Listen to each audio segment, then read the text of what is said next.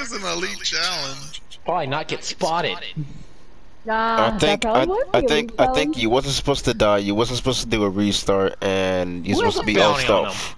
Oh, this guy has bounty. This dude.